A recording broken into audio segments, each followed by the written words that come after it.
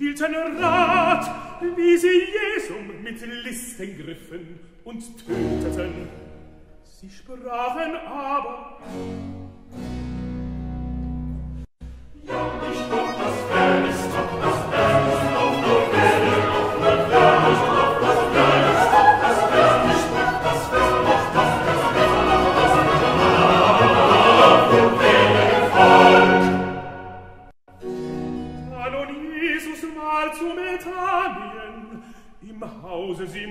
ist des Aussätzigen. Trat zu ihm ein Weib, die hatte ein Glas mit köstlichem Wasser und goss es auf seine Haut, da er zu Tische saß. Da das seine Jünger sahen, wurden sie unwillig und sprachen, was will das Tier?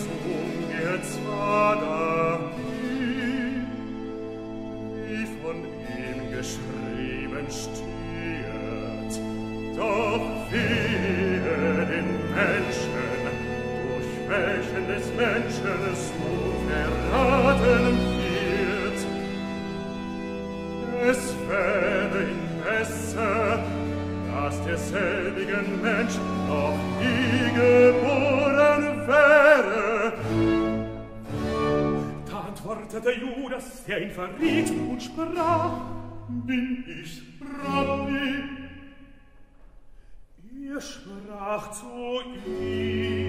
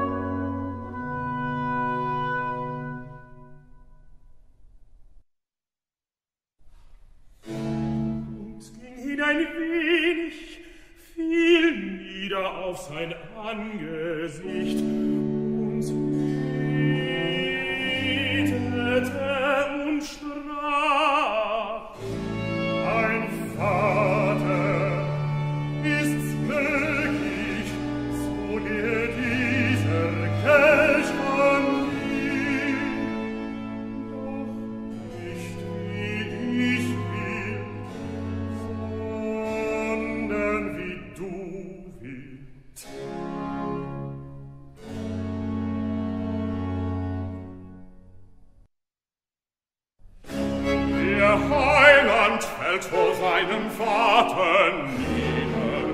Dadurch erhebt er mich und alle von unserm Falle hinauf zu Gottes Gnade wieder. Er ist bereit, den Kelch des Todes Bitterkeit zu trinken, in welchen Sünden Welt gegossen sind und hässlich stinken, weil es dem lieben Gott gefällt.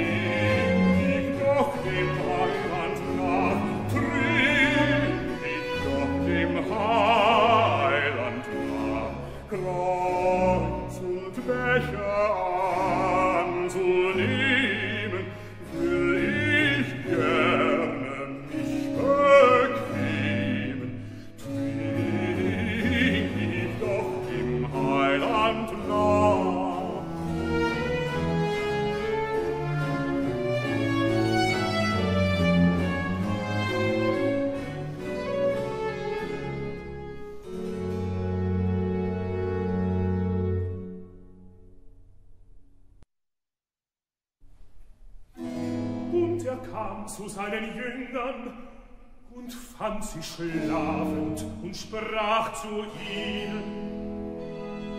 Könntet ihr denn nicht eine Stunde mit mir wachen? Wachet und betet, dass ihr nicht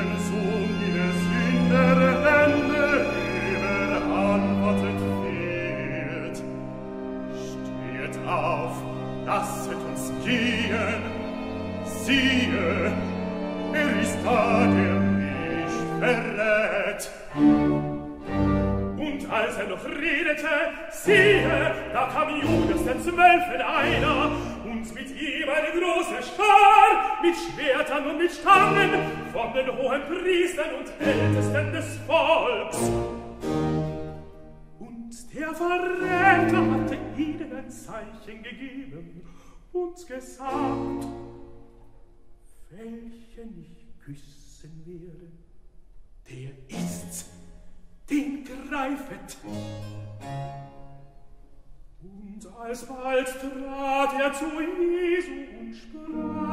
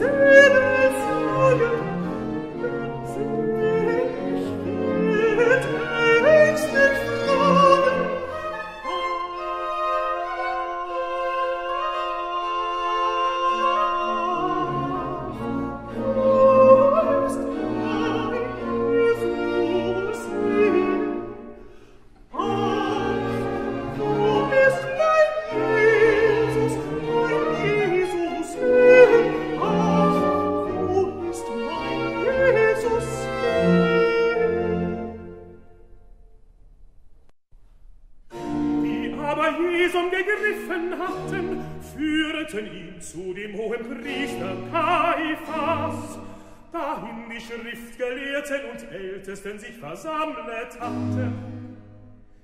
Petrus aber folgete ihm nach von ferne, bis in den Palast des hohen Priesters und ging hinein und satzte sich bei die Knechte, auf dass er sähe, wo es hinaus wollte. Die hohen Priester aber und Ältesten und der ganze Rat suchten falsche Zeugnis wider Jesum, auf das sie ihn töteten. Und funden keines.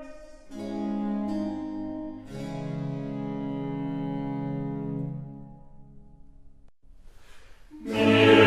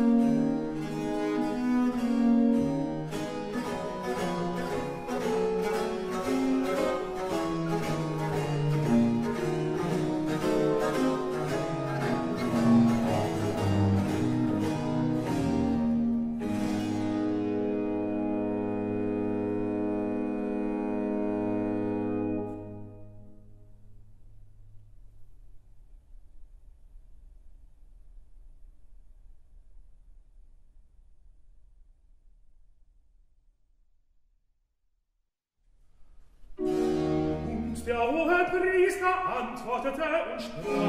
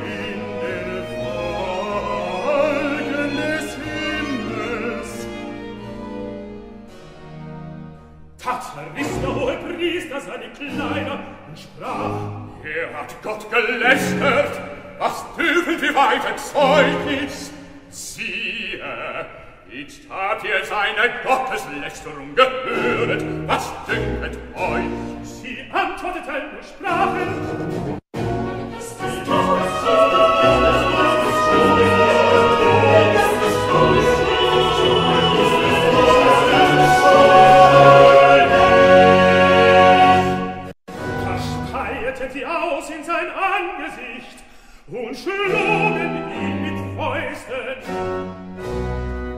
Etliche aber schlugen ihn ins Angesicht und sprachen,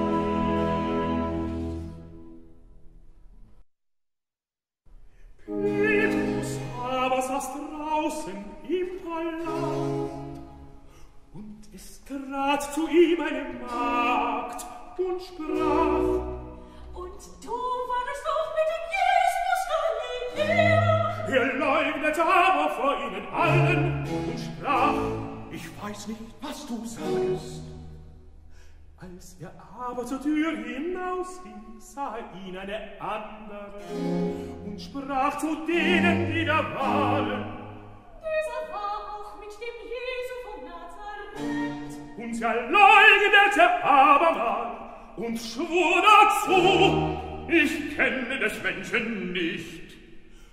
Und über deine kleine Weile traten hinzu wieder Stunden und sprachen zu Petro. Wahrlich, du bist auch einer von denen, bist klar, weil du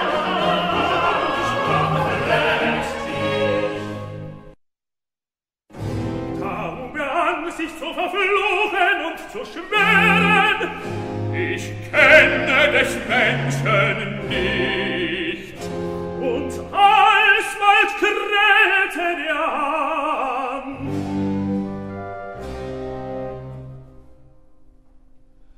Da dachte Petrus an die Worte Jesu, da er zu ihm sagte,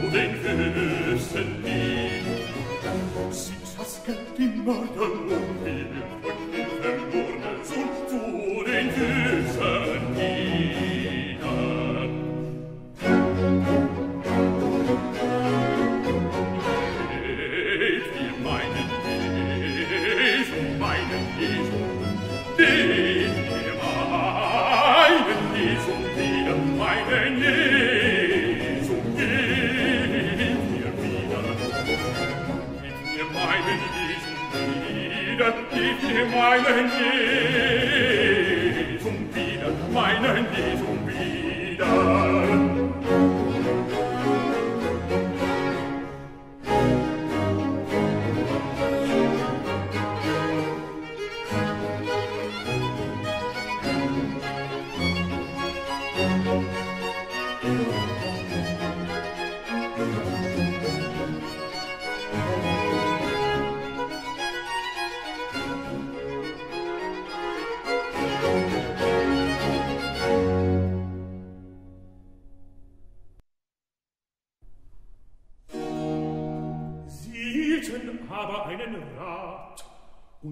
Tropft in einen Töpfers Acker darum zum Begräbnis der Pilger. Daher ist derselbige Acker benennet der Blutacker bis auf den heutigen Tag. Da ist erfüllet, das gesagt ist durch die Propheten Jeremias, da er spricht.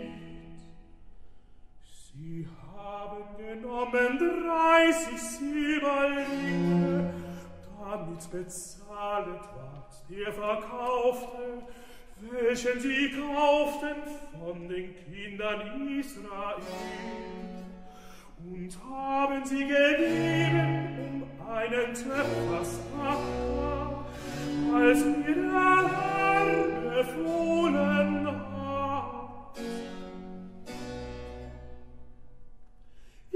Jesus aber stund vor dem Landpfleger, und der Landpfleger verrate ihn und sprach, Bist du der Jüden König?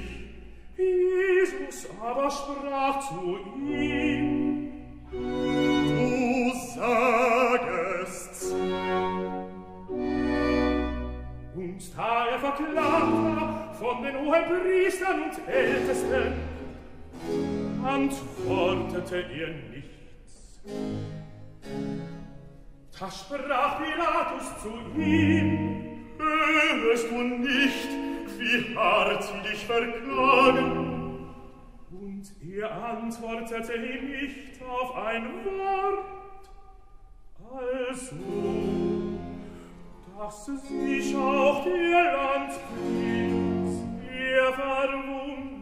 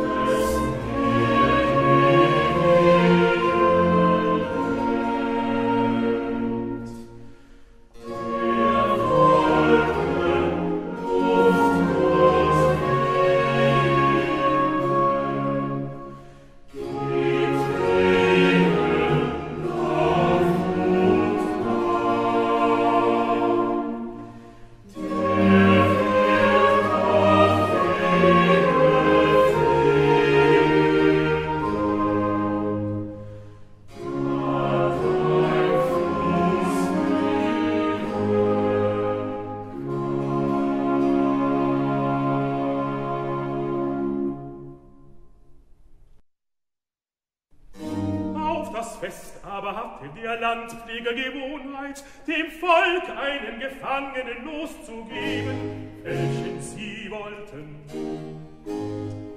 Er hatte aber zu der Zeit einen Gefangenen, einen sonderlichen vor andern, der hieß Barabbas. Und da sie versammelt waren, sprach Pilatus zu ihnen, Welchen wollt ihr, dass ich euch losgebe? Barabbam oder Jesu, von dem gesaget wird, er sei Christus. Denn er wusste wohl, dass sie ihn aus Neid überantwortet hatten. Und da er auf dem Richtstuhl saß, schickte er sein Weib zu ihm und ließ ihn sagen,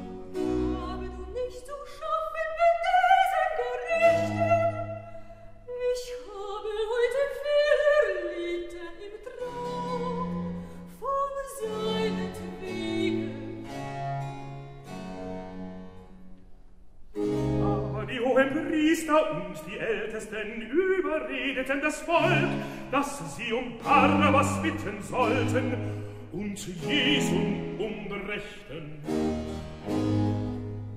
Da antwortete nun der Landspfleger und sprach zu ihnen, Welchen wollt ihr unter diesen zwei, den ich euch soll losgeben. Sie sprachen,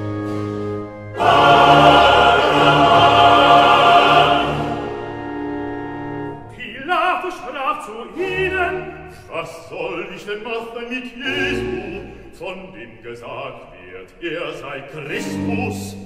Sie sprachen alle,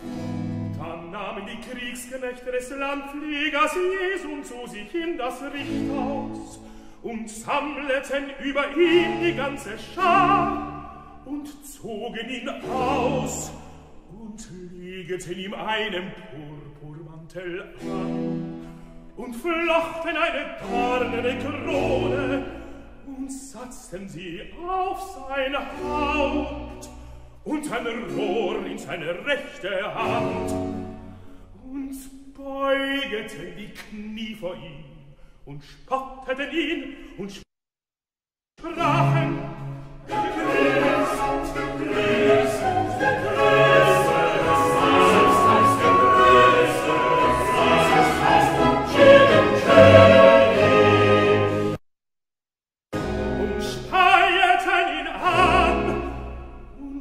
nahmen das Rohr und schlugen damit sein Haupt.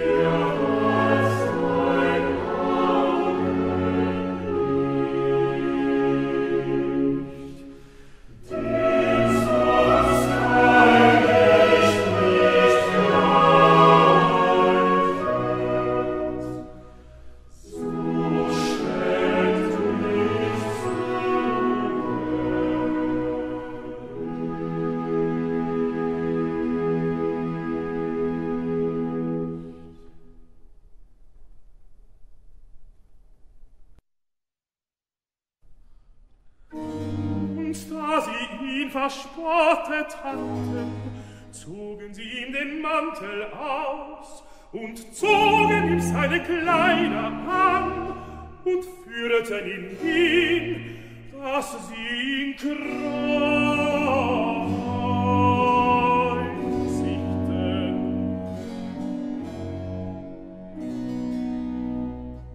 Und indem sie hinausgingen, funden sie einen Menschen von Kyrie, ganz Liebung, den so wogen sie, dass er in sein Kreuz trug.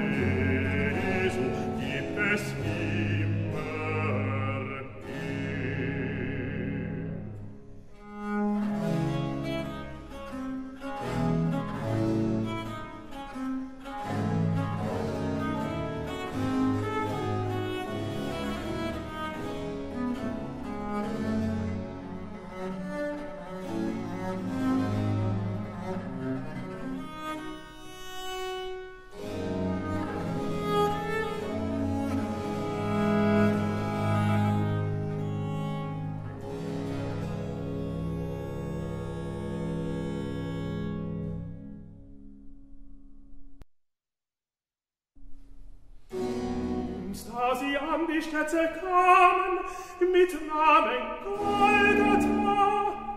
Das ist verdeutschet, Schädelstädt, gaben sie ihm Essig zu trinken, mit Gallen vermischt.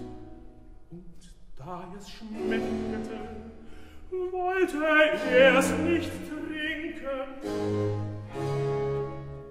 Da sie ihn aber gekreuziget hatten, spalten sie seine Kleider und wurfen das Los herum, auf was er füllet das gesagt ist durch den Propheten. Sie haben meine Kleider unter sich geteilt, und über mein Gewand haben sie das Los geworfen. und sie schaßen Altar und hüteten sein. Und oben zu seinen Häuten hefteten sie die Ursach seines Todes beschrieben, nämlich, dies ist Jesus, der jünen König, und da wurden Zwinmörder mit ihm gekreuzigt, einer zur Rechten und einer zur Linken. Die aber vorübergingen, lästerten ihn und schüttelten ihre Köpfe und sprachen,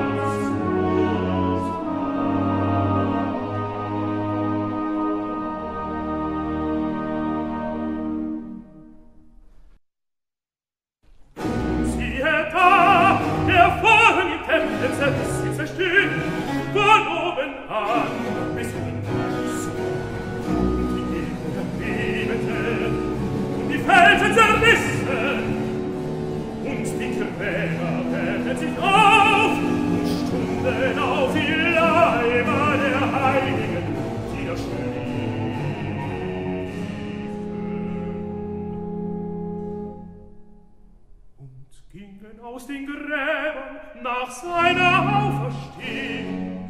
Und kamen in die heilige Stadt und erschienen vielen.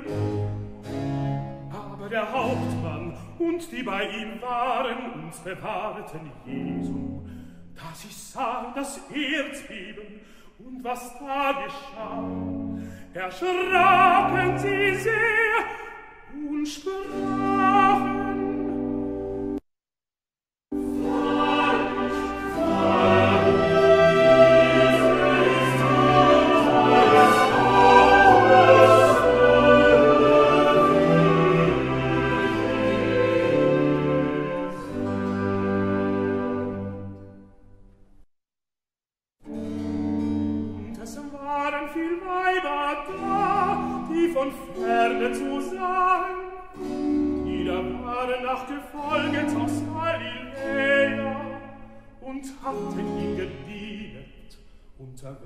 Mar Maria Magdalena und Maria, die Mutter Jakobi und Joses, und die Mutter der Kinder Zebedei. Am Abend aber kam ein reicher Mann von Arimathea, der hieß Josef, welcher auch ein Jünger Jesu war er ging zu Pilato und bat ihn um den Leichnam Jesu. Da befahl Pilatus, man sollte ihm ihn